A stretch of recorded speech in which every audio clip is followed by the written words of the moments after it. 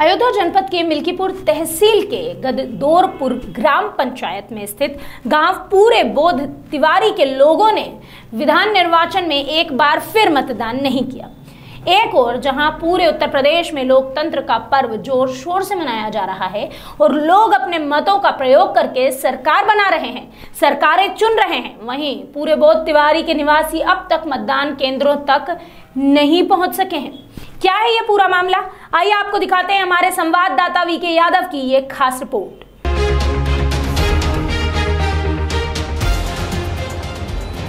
विडंबना यह है कि बार बार शिकायत करने के बावजूद भी प्रशासनिक लापरवाही के कारण इन मतदाताओं को मतदान करने का मौका नहीं मिल सका है।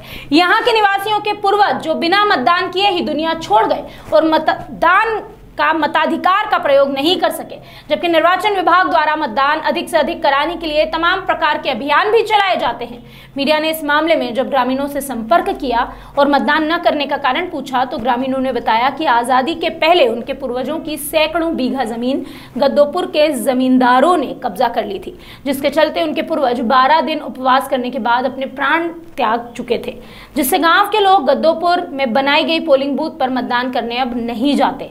इस संबंध में गाँव के राम पुजारी ने जिलाधिकारी से लिखित शिकायत दर्ज कराई और अपना मतदान केंद्र बदलवाने की मांग भी की है। बावजूद इसके अब तक मामले में कोई कार्यवाही नहीं की गई।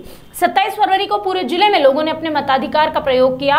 वहीं अबोध तिवारी के लगभग 300 मतदाताओं ने मतदान में हिस्सा लिया ही नहीं।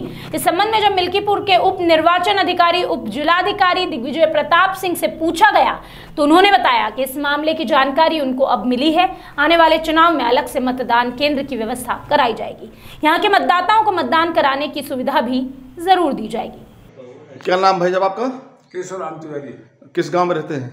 बहुत तिवारी पुरवार।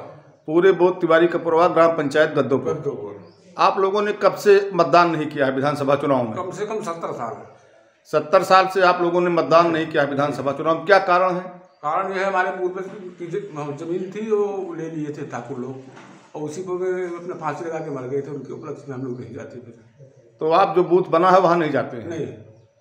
तो आपने अभी जो है विधानसभा चुनाव में देश की आज़ादी से लेकर के अब तक मतदान नहीं किया नहीं किया। है तो अभी पोलिंग जो अभी गत में जो प्रधान का वोट पड़ा था उसमें वोट डाला गया है हम लोग वोट डाले हैं वोट। हाँ। और संजय स्मारक स्कूल में वोट डाला गया था। हाँ हाँ। अब तो यहाँ से पोलिंग बूथ बदल दिए हैं हम लोग गद्दोपुर फिर नहीं जाएँगे। अच्छा। जिस तरह हम जिस तरह हमारा साठ साल बीता सत्तर साल उसी तरह अभी बीतेगा। अब देखना यह होगा कि क्या आने वाले वक्त में इन ग्रामीणों को अपना हक मिल पाता है या ये यूँ ही मताधिकार से हमेशा दूर रहेंगे।